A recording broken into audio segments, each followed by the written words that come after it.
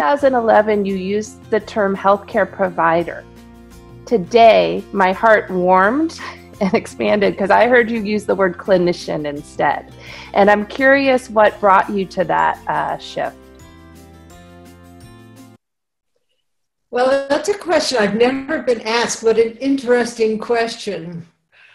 I think I probably uh, am now thinking more about clinicians since so many clinicians are in my life um, and are uh, incredibly fraught. And I'm speaking specifically about doctors and nurses, um, specifically people who are on the so called front lines of this uh, pandemic.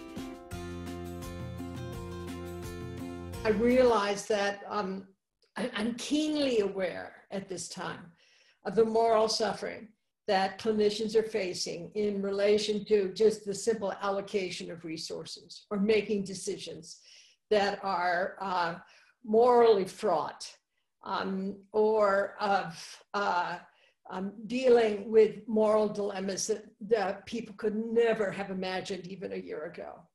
So, you know, the issue around moral suffering in clinical medicine is um, really up for many clinicians today in relation to moral distress, moral injury, moral outrage, um, moral apathy, uh, and moral disengagement.